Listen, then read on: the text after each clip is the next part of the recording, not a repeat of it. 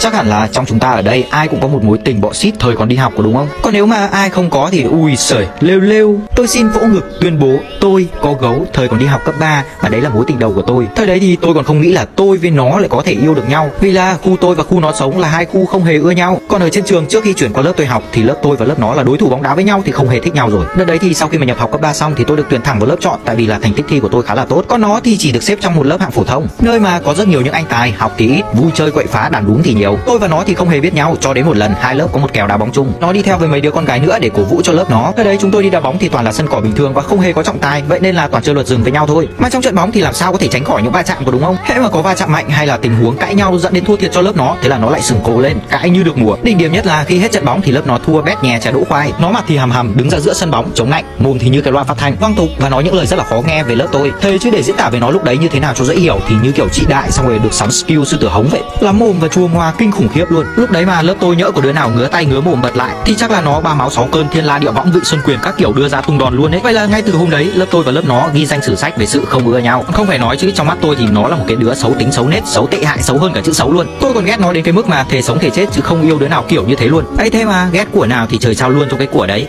Tiếp tục với câu chuyện của chúng ta thì tôi muốn giới thiệu sơ qua một chút về nữ chính, mối tình đầu của tôi. Cái nhân vật mà phần trước tôi vẫn cứ gọi là nó đấy, thì bạn đấy là đứa con thứ hai của một gia đình ba chị em gái. Nhà bạn đấy thì cũng khá là có điều kiện. Thời đấy thì đa phần chúng tôi đi học đều đi bằng xe đạp, chứ không có xe đạp điện nhiều như bây giờ đâu. Nhà của nó thì chỉ cách trường cỡ 4 đến 5 cây số, nhưng bố mẹ nó vẫn sắm cho một xe đạp điện đi học như bình thường. Chính vì là nhà nó có điều kiện, vậy nên là sau khi học hết lớp 10 bố mẹ nó cảm thấy nó học ở lớp đấy không còn được tốt nữa. Vậy là bố mẹ nó xin cho nó sang lớp chọn để học. Thời đó thì ngoài lớp tôi ra thì còn một lớp chọn nữa ở trong khối. Quả này thì mới đúng là chuyện tâm linh với lại duyên trời sắp đặt không đùa được đâu này. Rõ ràng là ở trong khối có hai lớp chọn liền, lớp kia thì tốt hơn lớp tôi rất là nhiều. Ấy thế sao lại chuyển sang lớp tôi học? Quan ra ngõ hẹp, cuối cùng lại gặp nhau. Ôi rồi ôi. Ngày nó được cô giáo chủ nhiệm đưa vào trong lớp và đứng ở giữa lớp giới thiệu cho mọi người. Thì tôi là người đầu tiên vỗ tay tán dương và trong bụng nghĩ, kỳ này thì mày đứt luôn với ông rồi, con ơi.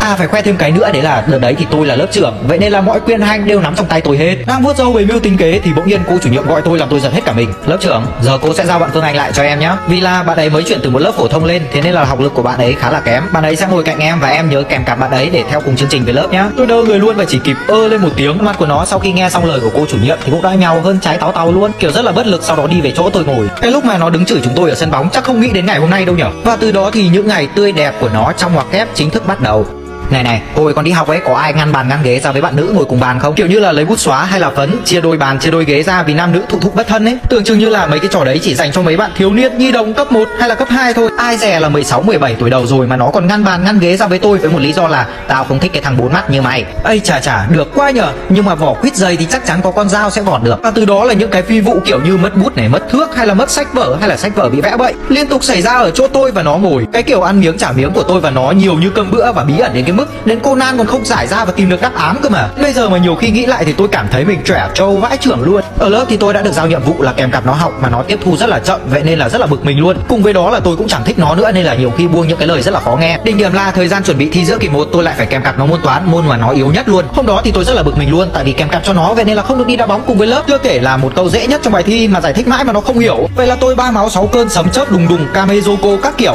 Mặt thì đỏ phừng phừng, mắt thì nhìn chằm chằm vào nó, nghiến răng. Hết sức bình sinh để có thể hét lên một câu mắng nó một câu mắng rất là thậm tệ. Một câu nói mà đến bây giờ tôi vẫn cảm thấy rất là áy náy khi đã nói ra với nó như thế. Các bạn có đang thắc mắc là tôi mắng gì nó mà đến mức tôi phải áy náy như thế không? Cái câu này thì nó rất là tiêu cực và thâm nho luôn. Vậy nên là các bạn đừng có học theo tôi nhá. Đến lúc đấy thì tôi đúng kiểu giận quá mất khôn nên là cũng buông những cái lời như thế này. Ê này mày tao hỏi mày khí không phải nhá. Gen di truyền nhà mày là họ ngưu ma vương à? Hay là do chất dinh dưỡng mày ăn từ bé đến giờ nó không chạy lên được đến não? Để đến bây giờ thì mày học dốt và chậm tiêu đến như vậy. Kiểu mà học hành giống như mày ấy, thà đẻ quả trứng ăn còn hơn. Khi mà đã xả được cơn bực tức trong người cùng với là giận cá chấm thớt xong thì tôi quay sang nhìn nó. Bình thường thì nó sẽ rút mấy cái chiêu thức võ mồm học của mấy bà bán cá ngoài chợ ra để cãi lại với tôi. Ấy vậy mà hôm nay thì lại không. Mặt nó tối sầm lại rưng rưng rồi chỉ cúi mặt nhìn xuống trăng vở đến lúc này thì tôi mới cảm nhận được là hình như mình đã hơi quá lời và sai thật sự rồi. Mất khoảng mấy giây gượng gạo thì tôi mới nói lên vài câu để chữa ngựa. Thôi bài này mai để giảng tiếp đi.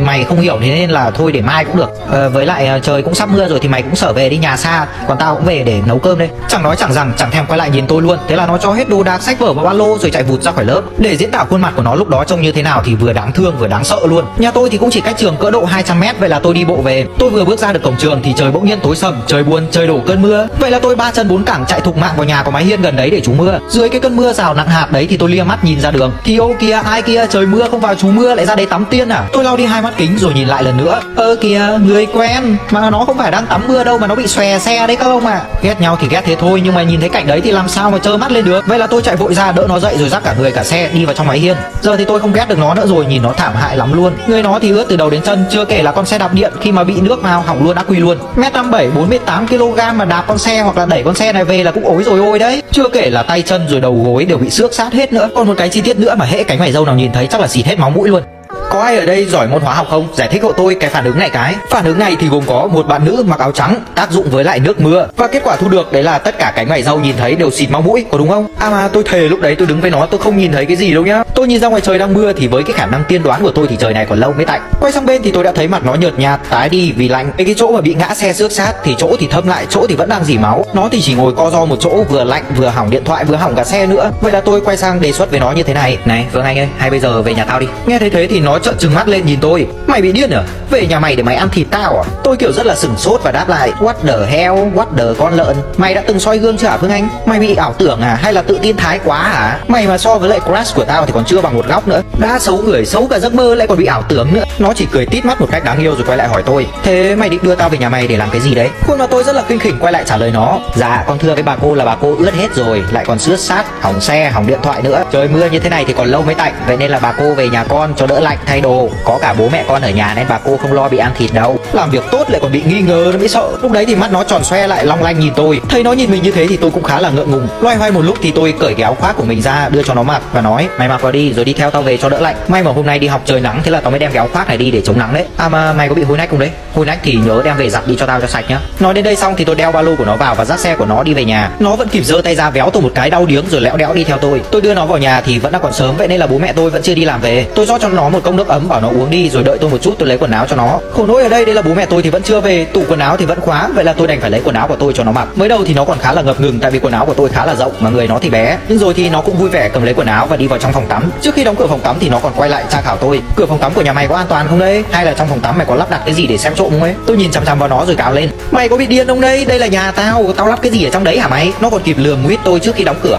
Hứ, ai mà biết được mày đừng có nhìn trộm đấy. Rồi nó đóng cửa làm cái rầm. Trong lúc mà đợi nó tắm thì tôi gọi báo của chủ nhiệm và hỏi số bố mẹ nó để đưa nó về sau khi tôi gọi xong xuôi thì nó cũng tắm xong nó bước ra khỏi nhà tắm khiến tôi khá là sững sờ Lúc nó mới bước ra khỏi nhà tắm thì tôi đã nhìn thấy cái gì mà sững sờ đến như vậy. Trước lúc mà nó vào đi tắm thì tôi đã đưa quần áo cho nó rồi. Vậy mà bây giờ nó ra thì nó lại quấn khăn. Thấy tôi đang có một cái dấu chấm hỏi to đùng ở trên đầu như thế, dường như nó đã hiểu ý. Nhìn vào nó kiểu rất là bất lực ấy, sau đó thì phụng phịu. Mày không hề hỏi đâu. Tao biết là mày định hỏi tao cái gì rồi. Tao tao tao mới chỉ kịp mặc cái quần thôi, còn cái áo tao bị rơi xuống sàn bị ướt hết rồi. Nên nên tao mượn cái khăn tắm của mày để để để quàng tạm. Còn còn mày vào trong kia lấy một tao cái áo khác được không? Nói xong được câu đấy thì mặt nó đỏ bừng hết cả lên. Tôi thì cũng đã hiểu ra được vấn đề rồi nhưng làm sao tránh được khỏi vài giây tưởng tượng có đúng không nhỉ? Nhưng mà hình như là nó đi bộ trong đầu của tôi hay sao ấy nó gặp mặt nhìn về phía tôi sau đó hét lên này nhá mày bỏ ngay mấy cái suy nghĩ trong đầu mày đi nhá rồi đi lấy áo cho tao đi nhanh lên kiểu như là tôi bị đoán trúng tim đen hay sao ấy vậy là tôi vội vã đi vào trong phòng lấy áo cho nó vừa lấy được cái áo đi ra khỏi phòng thì tôi nghe thấy tiếng lạch cạch ở cửa ra vào tưởng là lúc đấy bố mẹ nó đến đón cơ, nhưng không, là mẹ tôi đi làm về. Tôi đang định bước ra ngoài thì nó tự nhiên chạy sộc vào, thở hổn hển. Hey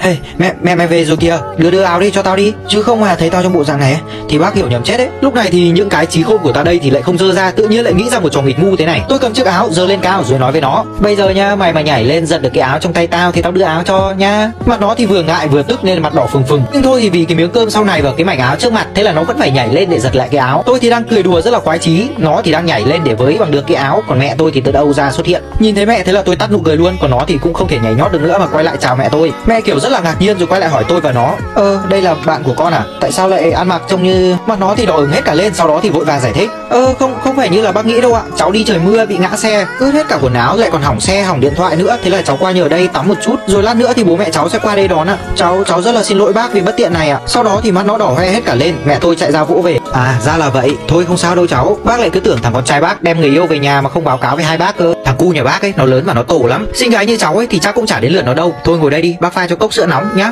Nói rồi mẹ tôi chạy vụt ra ngoài. Nghe mẹ tôi nói như vậy thì trong lòng tôi rất là không phục. Tôi cũng có cái giá của tôi chứ. Nhưng mà khi tôi để ý lại kỹ nhan sắc của nó, thì có lẽ là thời gian vừa rồi tôi đã bỏ qua khá là nhiều những chi tiết thú vị về cô bạn ngồi cùng bàn.